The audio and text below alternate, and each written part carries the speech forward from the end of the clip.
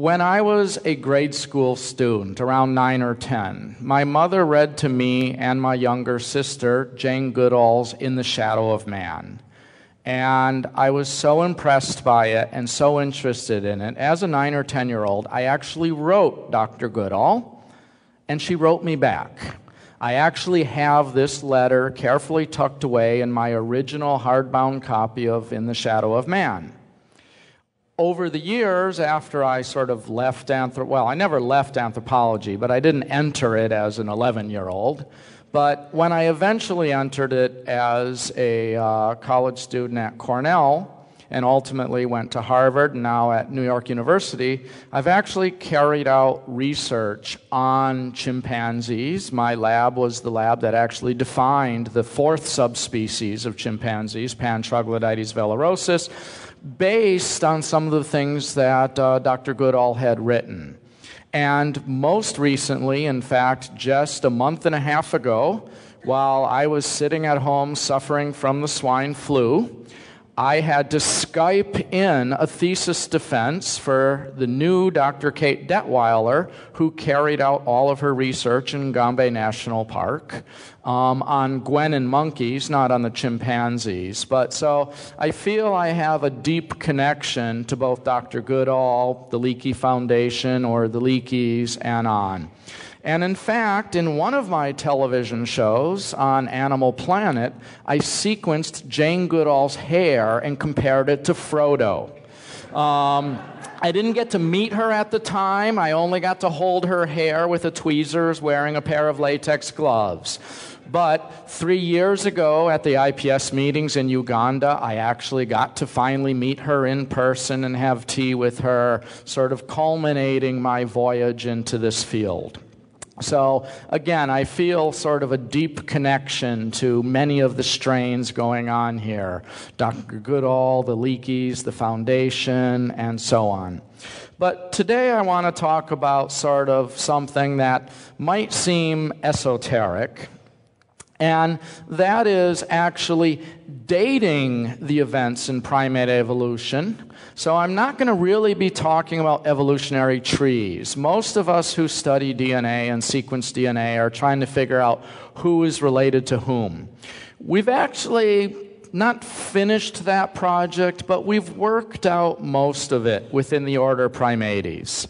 We know, at least at the generic level, who's related to whom. We're now out at the twigs of the tree is what I'm now becoming more and more interested in is integrating that knowledge with the fossil record, you know, the other entire half, if not two thirds of our field.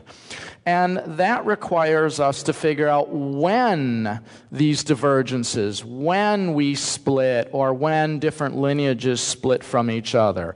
And so that's one part of molecular systematics that I'm going to sort of concentrate on today a micro background, though, to this is that any sequence of DNA, any gene, any allele, or any variant you have it, ultimately can be traced back in time to a common ancestor.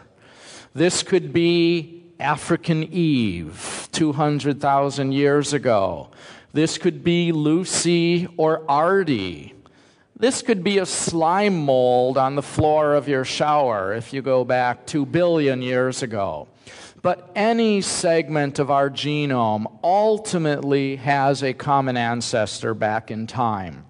Now, to actually figure out who we are most closely related to and maybe when that common ancestor was, we have to do a series of complex calculations and inferences and modeling that I am not going to go into at all here.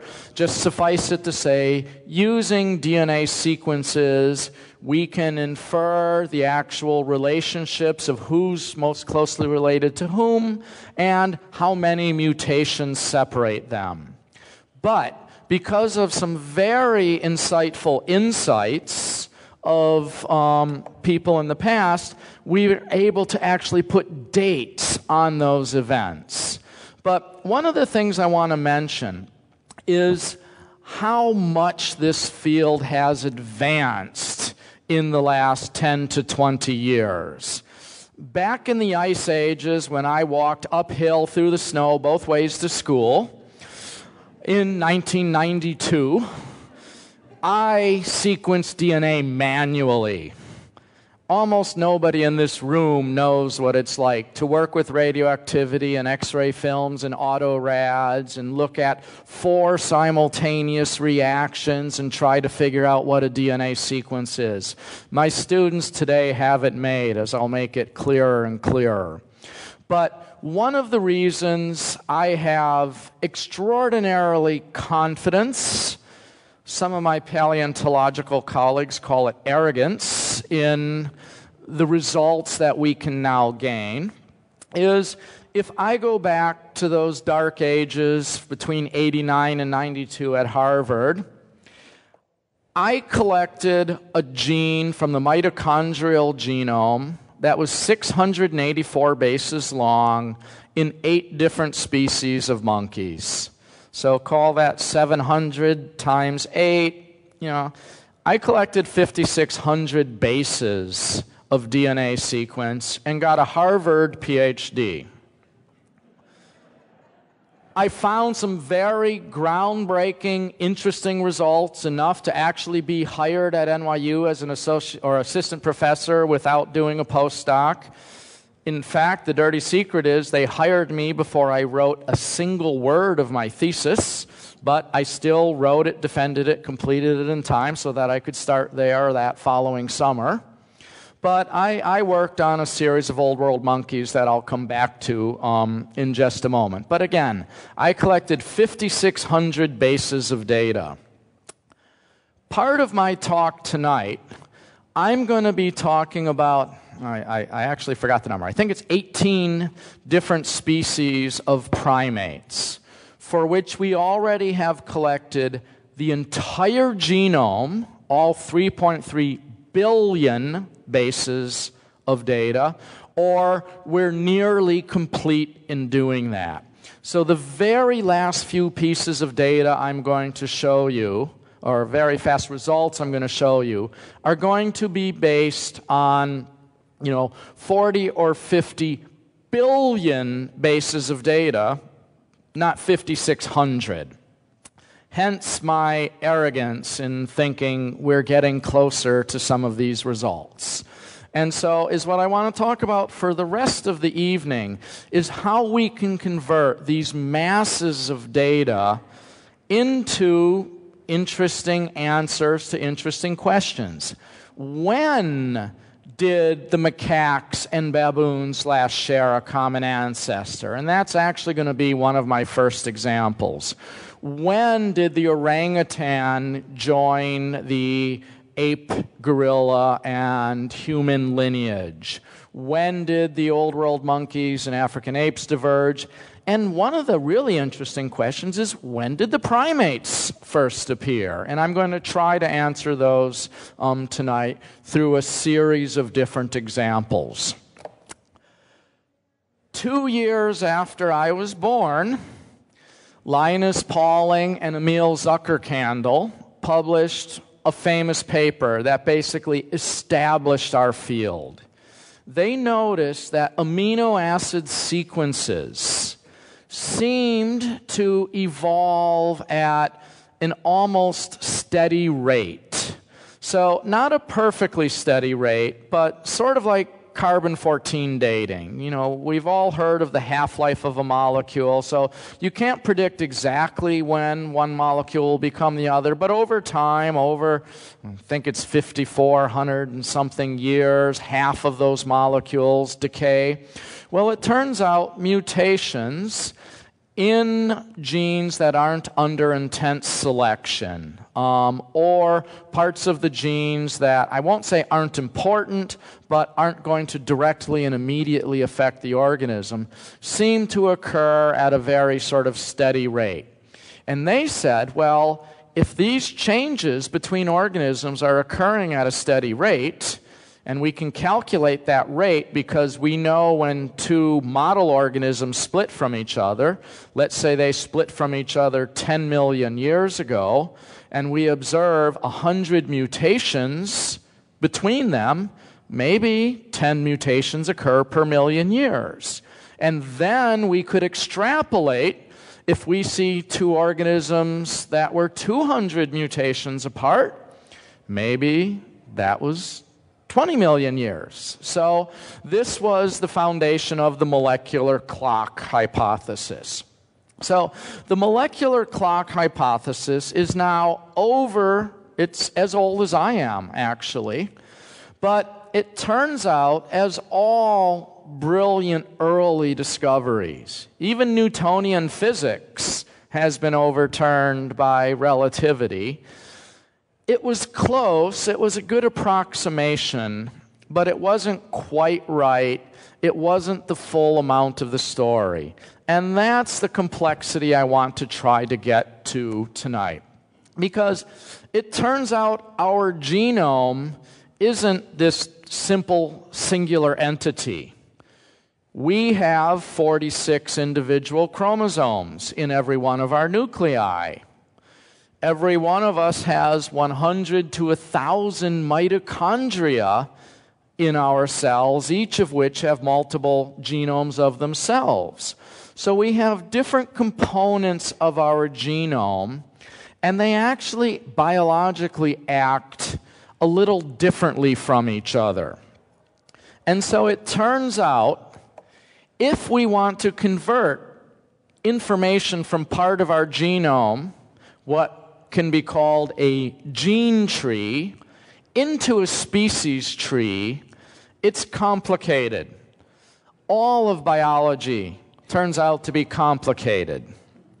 So, if you have variation in an ancestral population, and I guarantee you, if I look across this room right now, I can pick almost any gene in our genome, and we have differences amongst us. But depending upon that ancestral population, some of those variants might have ended up in one species and other in another.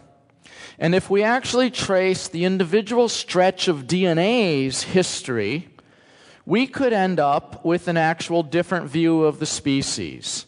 The best example I use with this with my students is think of your own history. You have a family tree from your mother, and you have your family tree from your father. Might have, one might have come from Lebanon, one might have come from Belarus. What are you? You're a combination of both of them. You don't have a singular history. Your two parents have different histories. Their two parents have different histories.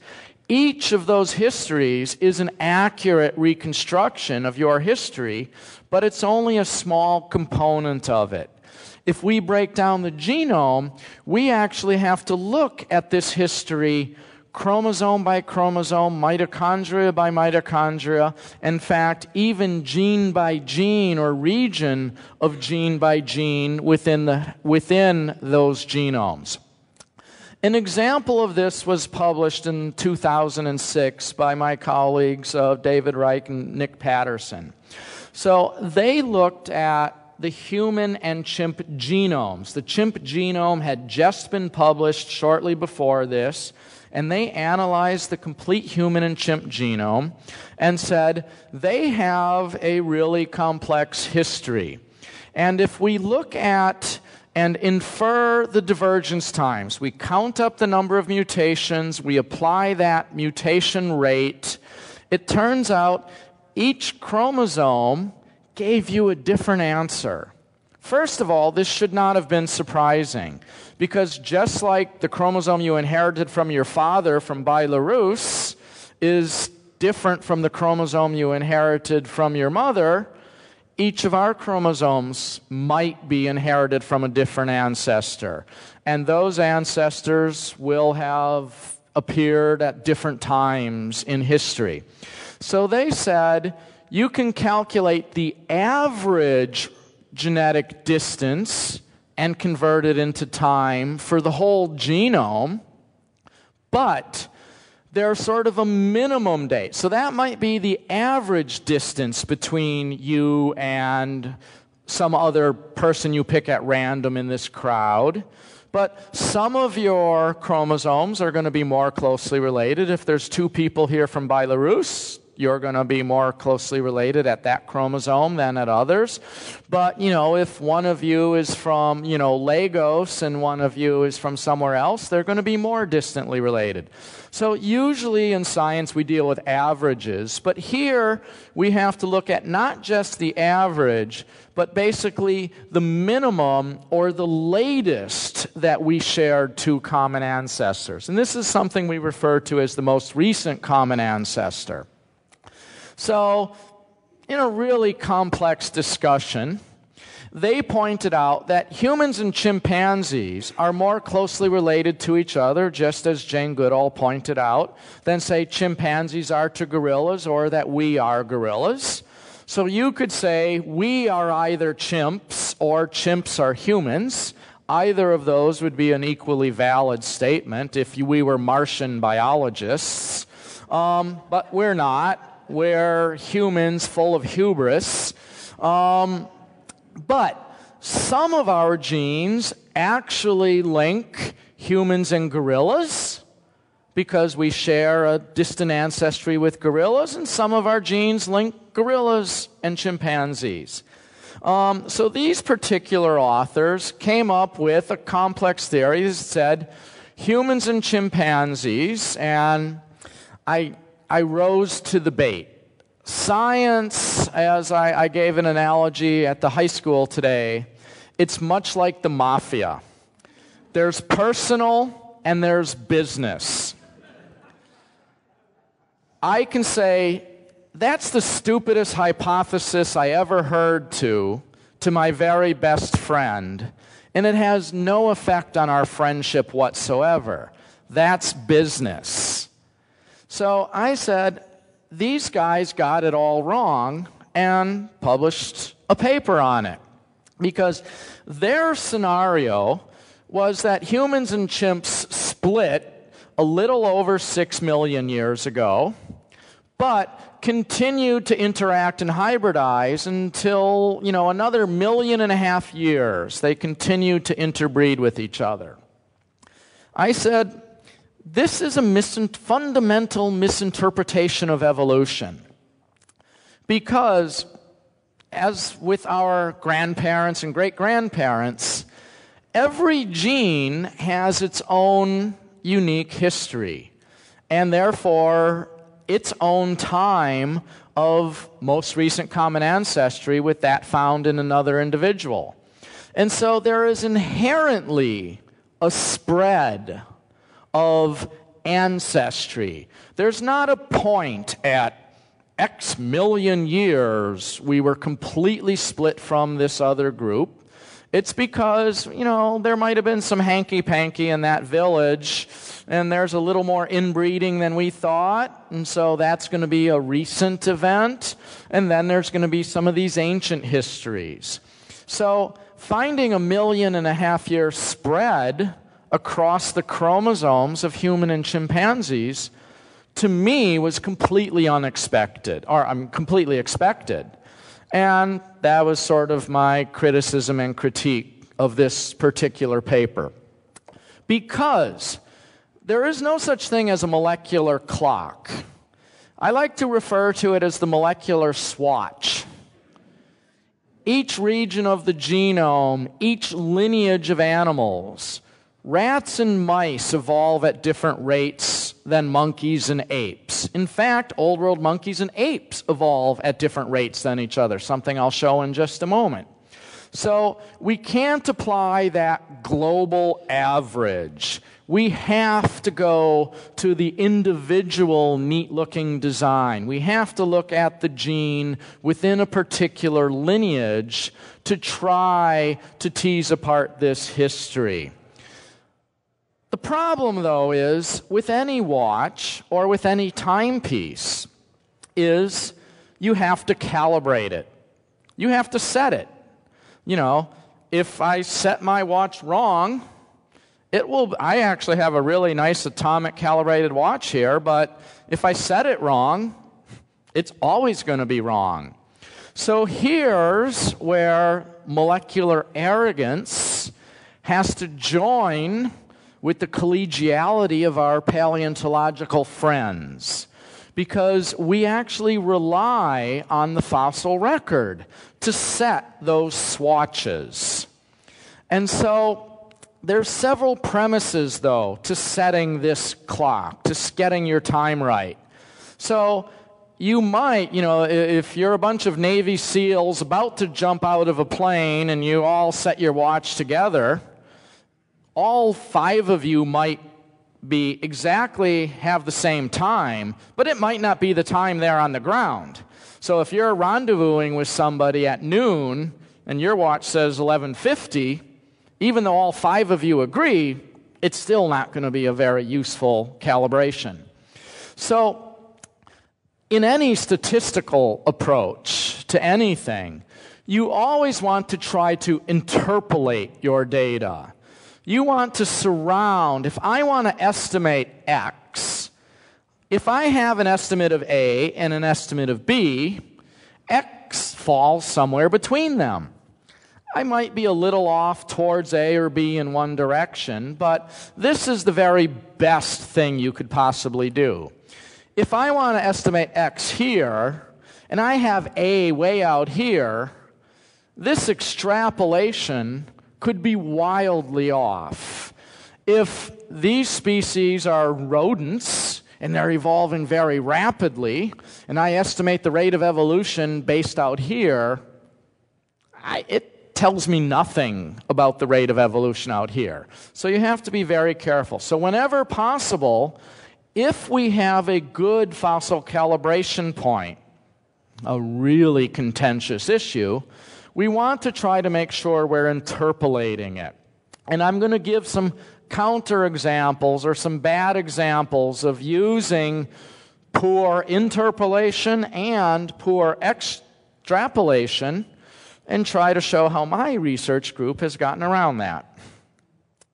So, the fossil record is fickle, inherently so.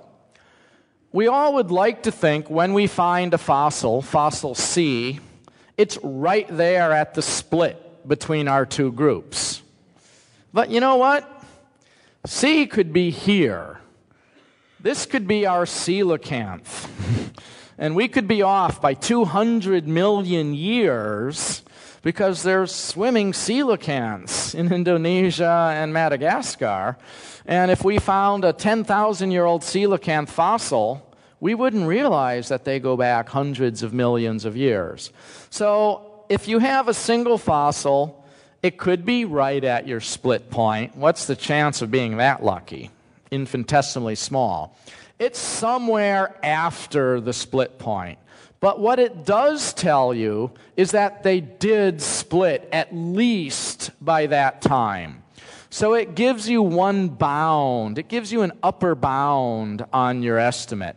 The problem is the lower bound is see here, here, here, here, here, or all the way back here. So now, if you have two fossils, one on each of the two lineages you're interested in, again, they could be way up here. But what's the probability you're so unlucky that both of them are missing half of the fossil record? Actually, pretty great. So that's not that helpful. The perfect situation, which I don't think has yet arisen, is which you have multiple fossils that are close to the calibration point, clearly before it, and many other fossils, so that if there's you got a whole lot of fossils from this time period of a whole bunch of things, it's less likely that you've completely missed an entire lineage. We're fortunate in the order Primates that because, again, of our anthropocentrism or our hubris, I like to think, that we've searched more carefully and intently for primate fossils than, you know, for, you know, cow fossils. Uh, I hope there's no artiodactyl experts here in the audience. Uh, cows are perfectly wonderful animals. I eat them several times a week. Um, but, so we're pretty lucky with the primate fossil record. But again, you have to use it properly. And as I said already, rodents evolve at different rates from cows and from primates and from carnivores. And so we can't just assume the molecular clock is ticking like a metronome. We have to realize there's jazz, there's rock, there's baroque, that they're evolving at different rates. And we need to essentially correct for those rates over evolutionary time. So, without going into the excruciating complex details of Bayesian statistics and all of that stuff, I'll just assert we now have pretty good analytical, statistical, and probabilistic ways for correcting for the different rates. If you know rodents are twice as fast as primates, then you have the number that you find in rodents, and then you can reasonably compare rodents and primates. I'll give an example of that in a moment. Um, rather, again, than boring you to death with lots and lots of slides and details, my grad students and I, newest methods at our meetings, on our posters, and in our talks, is rather than going through detailed things of how we did everything, we just show a quick flow chart. we just say, we did all of these things and got to here. Um, and anybody who wants to can see the program name we use, the technique we use, the parameters we use. But for this audience, I don't think you want to know what the priors I used in my Bayesian analysis were. So let me give several now examples of how we and others have applied um, molecular clock, or better, molecular swatch techniques. I realize I actually have to buy like four of them and wear two on each wrist for talks like this in the future. The first example I want to give is within the great apes and the split between the apes and the old world monkeys. And I'm going to concentrate on the split between the apes and the old world monkeys and the split between humans and chimpanzees. So I'm actually not anthropocentric, I'm monkey-pocentric. Uh, the chemists and physicists and biologists at NYU actually call me monkey boy. Uh, because most of what we study are old world monkeys and new world monkeys. But I'm going to show you some lemurs and lorises as well. So, recently, in another nice example of business versus personal, one of my former students published a paper which we severely critiqued and we still go out and have drinks several times a year in New York. He's now a professor at Hunter College.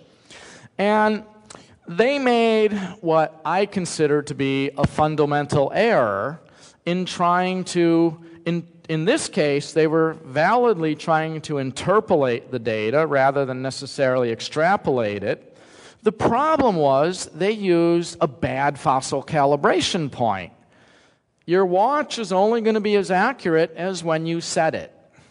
And so they looked at the human and fossil record, and it's darn reasonable to say humans and chimps probably split around 6 million years ago based on the fossil record. We have definitive, like Ardi, hominin fossils. We have maybes, and then we have maybe slightly befores. So this is almost that last scenario I showed in one of the previous slides. But then they used baboons and macaques, not because they have a good fossil record, but because they have good genetic data. If you're going to use molecular data, though, to do this, you are so dependent on the fossil record. You have to pick the thing you have the best fossil record for, not the thing you have the most DNA sequence for. It's easier to generate DNA sequence than to find fossils. Paleontologists in the audience, I'm sure, would agree. It turns out baboons and macaques' fossil record is much like that second column where C is about halfway up. And so they calibrated this to about five or six million years. We now know from numerous other analyses that it's really about 10 million years. So this was just one of those really unfortunate cases in which we only knew the last half of the fossil record. And but by setting our watch to that, they're 10 minutes too early or 10 minutes too late to the rendezvous.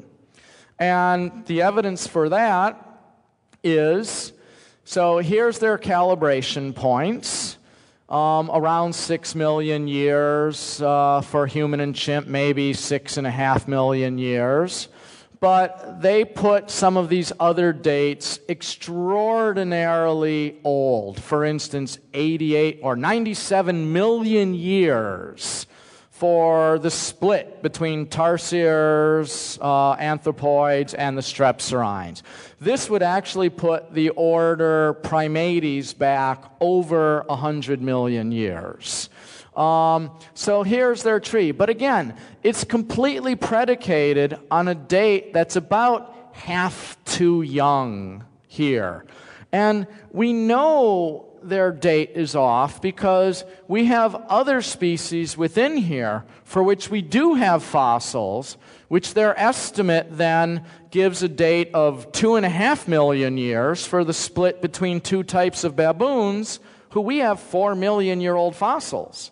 The fossil evidence in that case absolutely trumps the molecular estimate and tells you the molecular estimate is wrong.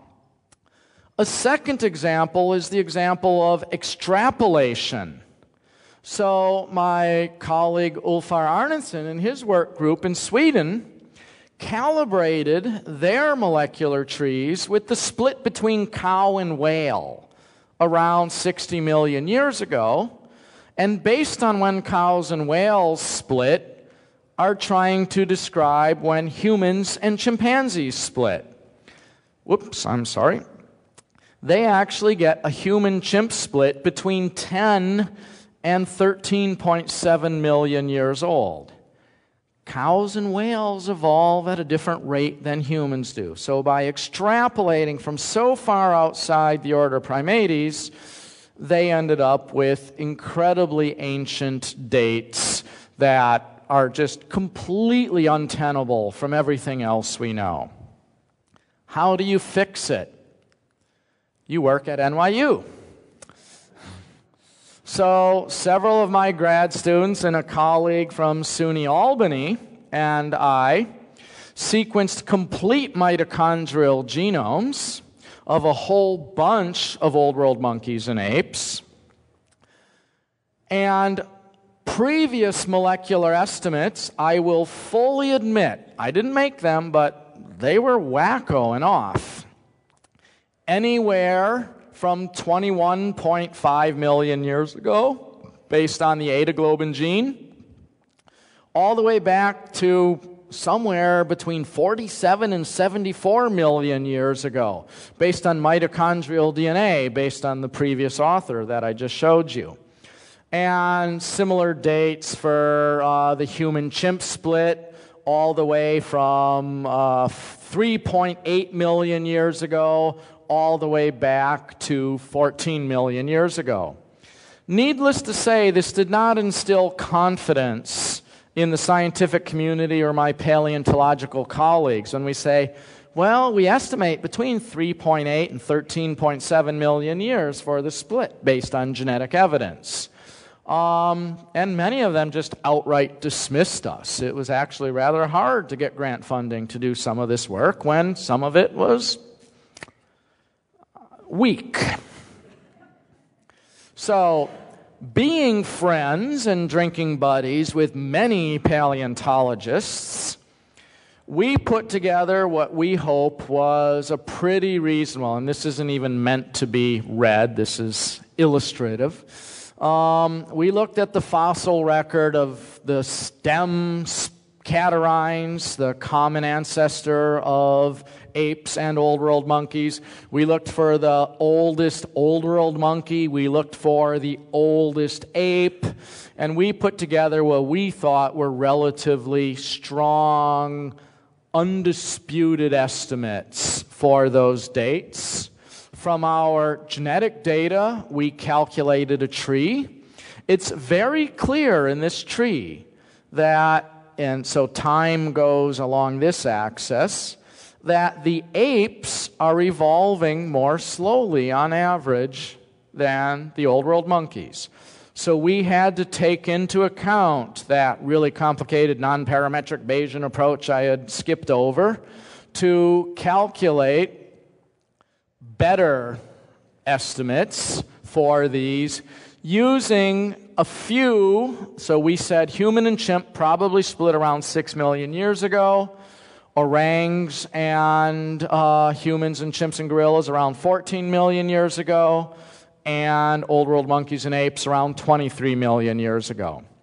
We felt confident about these dates, though, because we did a second experiment. And I'm going to give another example of one of these experiments. And that is in using, you always have today, you always have the zero time, zero difference point. But we had the human chimp difference, the gorilla chimp human, um, and orang difference, and then the old world monkey ape differences that we could calculate genetically. And we said if you use the six million year old difference for human chimp, what do you estimate for this, and what do you estimate for this? and vice versa for all the different combinations. They all fall. I mean, any biologist would kill for a regression line with this tight of a fit.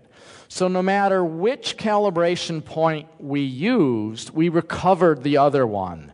If one of these calibrations points was wildly off the mark, one of these guys, or two of them, would fall way off this line. So we felt very confident about this. But it told us human and chimp was approximately six million years ago. And that allows us now to use our molecular data to begin to infer other things. So if your human chimp split is restricted to approximately 6 million years ago, it would mean a 7 million year old fossil is not a human or a chimp, it's prior to that split. And a 4.5 million or a 5.8 million year old fossil would have to be on one or the other lineage.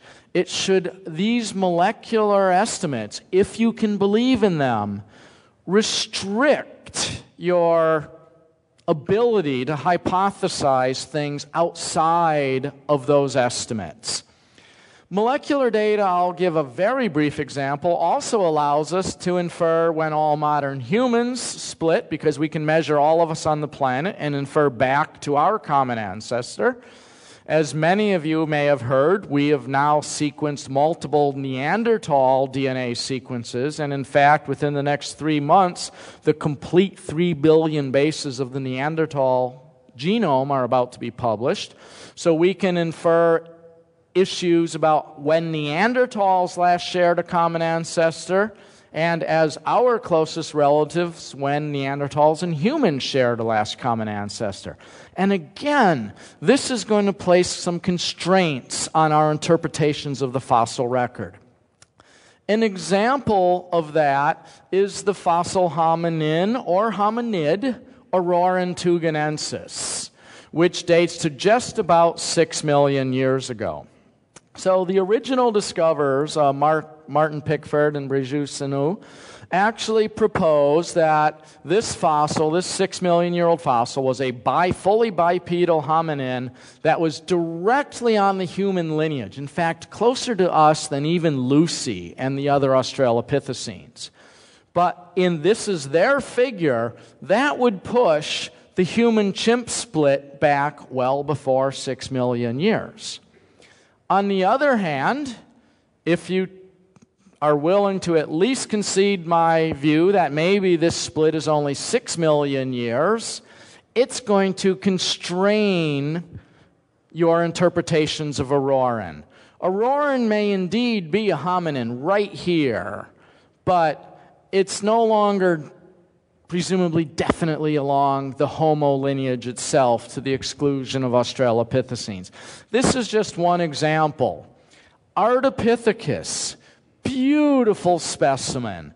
I mean, this is four point, uh, over four and a half million years old, almost as complete as Lucy. It tells us about bipedality and all sorts of aspects. But in fact, I, I hate to say, it actually, since it's within that six million and it's on our lineage, it confirms hypotheses about early bipedality and all this stuff, but it's not a new groundbreaking thing. But not all science is groundbreaking. Confirmation is as important as unconfirmed new hypotheses. So, as, as much as I admire the work that went into working on Orrorin, it's real solid confirmatory science, not groundbreaking new things that changes the human family tree, if you will. So, the next example I want to just very briefly give is directly within our own lineage in dealing with ourselves and our Neanderthal cousins. So, again, we are now on the verge of the era of Neanderthal genomics. We already have 20 Neanderthal mitochondrial sequences. The whole nuclear genome's about to come out. In fact, we know from some genes that some Neanderthals were red haired and light skinned. But they're not from northwestern Europe they actually have a independent and different mutation that yields red hair and light colored skin. So, you know, these aren't Scots or Irishmen, or Scots and Irishmen don't have Neanderthal genes in them per se. They just happen to look rather alike in their hair color and skin color. I'm actually a quarter Irish and a quarter Scot, so I'm allowed to speak of them. Um, it turns out from mitochondrial and genomic data that we know, remember one of those earlier slides I said we sort of have an average date of change and the most recent date? Well, for Neanderthals, the most recent date's probably around 400,000. The average date's probably 500,000, and some of the older dates might go back a little bit more. But we know that anatomically modern humans all trace back to less than 200,000 years. So if Neanderthals are back 370,000 years at least, unless they hybridized with modern humans, there are no Neanderthal genes on the planet today. And that's what I believe. My uh, senior grad student and I did an analysis of all the genomic data to date and along with other people who have done similar things, conclude that there's been a complete and total, utter replacement of the modern gene pool within the last 200,000 years, and that Neanderthals did not hybridize with us. And certainly, Peking man and Java man and Heidelberg man didn't interbreed with us. All modern humanity in fact, has a very, very recent common origin. Only maybe 200,000 years ago, the Neanderthals, actually a little bit less than that, but Neanderthals amongst themselves. If you want to think of, and I am not a person who actually believes in the biological concept of race, but I might attribute Neanderthals to be a different race. Um, they're a little bit less variable than we all are, but they lived in one single region of the world. We live across the entire planet. So we show a little bit more variation than Neanderthals, um, but there's no Neanderthal DNA in any of us, is going to be my best estimate. In three or four months, I either get multiple steak dinners and beers at the meetings, or I am paying out on those bets with my colleagues about Neanderthal human hybridization. The next example I want to talk about is New World monkeys. And here's a place that has been very controversial for many years. There's two main hypotheses. We have some nice fossils of New World monkeys. The question is are New World monkeys, all of the different lineages within them, extremely ancient, or are all living New World monkeys very recent? And all of the fossils we have from South America to date that are older than 20 million years ago, a long extinct side branch. I'm going to come out on this half in just a moment.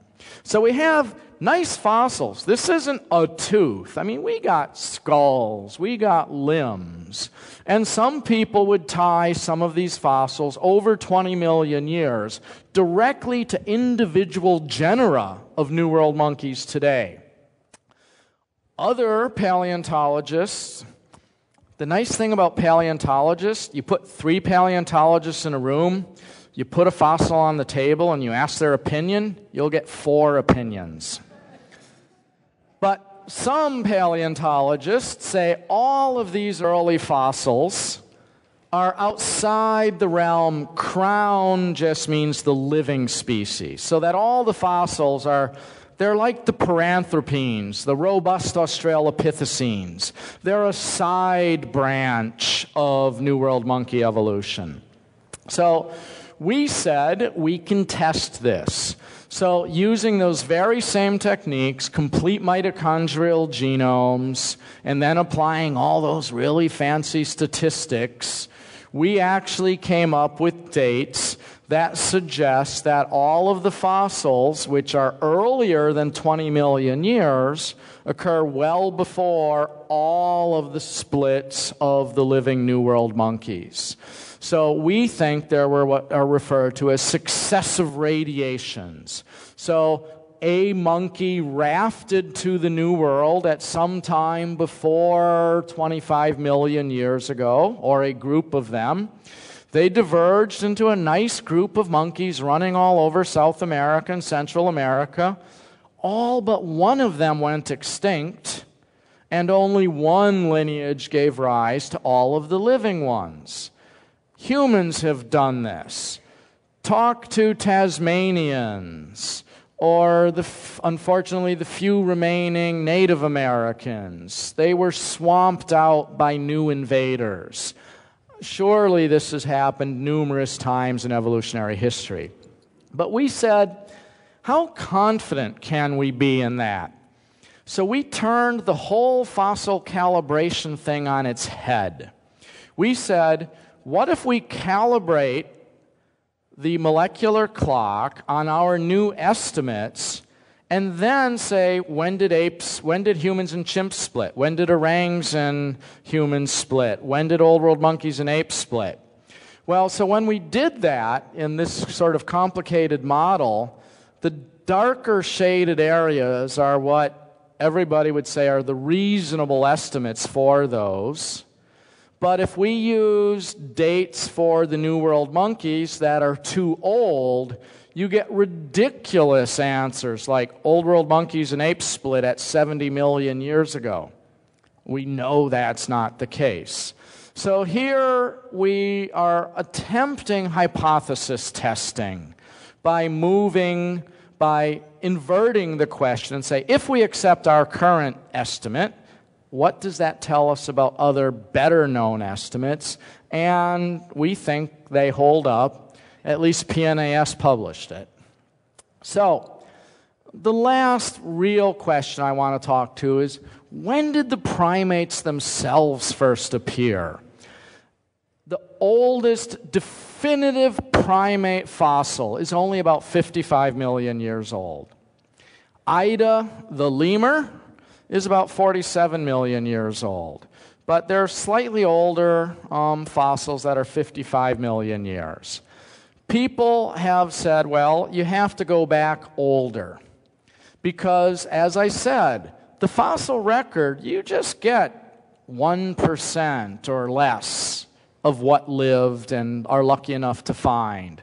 So, the fossil record might go back many, many times older than it actually appears. And so many people have simulated this, estimated it, done all sorts of experiments. And some people say that the primates go back 80 million years or even 90 million years, well before the Cretaceous Tertiary boundary when the dinosaurs went extinct. There are molecular estimates that are pointing towards 85 million years for the primate um, fossil record. Other mammalogists have looked and said uh, the KT boundary is this black line here. Um, and uh, I lost track of the primates over the last few days. Hmm? 630, okay. So the primates go well back before um, the KT boundary. The question is 5 million, 10 million, 20, 30. Some people have suggested 120 million years for the origin of the primates. Um, other people have, again, said, you know, 70 to 100 million years for the origin um, of the primates. Again, with very old dates. If that is the case, you get 11 million years for the human chimp split. If you believe that, then you have no trouble, you know, buying a 90 million or 100 million year origin of the primates. So, um, here we see the primates. Here's 80 million years. So, one of the mitochondrial genomic estimates is over 80 million years for this. My research group, our very most recent research, in fact, we submitted an abstract. Uh, about 6 o'clock today um, to a conference in which we looked at the complete mitochondrial genomes and data that I'm going to show you was uh, in a moment was just emailed me this morning. We looked at the complete genomes, all 3.3 billion bases of data, and come up with much younger estimates. We're around 70 to 72 million years. I'll zoom in here for the origin of the entire order Primates based on mitochondrial data. But that's just one swatch. Again, we have the rest of the genome. We have the other 23 chromosomes, at least in humans, um, and each individual chunk of those chromosomes. So, my, my ver- I mean, you're hearing it first, literally. I got the email this morning. Our point estimate for the chimp human split is around 6.3 million years ago, based on the complete genomes of humans, chimps, gorillas, orangutans, macaques, marmosets, uh, microlemurs, a galago, and a tree shrew, and a dog and a cat as one of our external um, calibration points, and everybody's favorite, armadillo. Armadillo, I, I, worked for a while in Texas. Armadillo DNA is really easy to come across. You just got to drive to work. Our estimate for the origin of the order Primates is again around 72, 73 million years ago. And this is based now on, this is just one single chromosome. It's, there's a lot of computation involved. Uh, if this talk was being held next week, I would show it to you for all 23, but at least from three chromosomes and the mitochondrial genome, I can say it's close, you know, close but not quite a cigar to the KT boundary, but it's not 90 or 100 million or 120 million. It's somewhere between 70 and 75 million. That's going to infect, again, our interpretations of the early mammalian fossil record. So if you get to go to extreme mammals on April Fool's Day, you can see what estimates they put forth for the origin of some of these groups. What does it tell us about Ida the lemur? Sorry, nothing.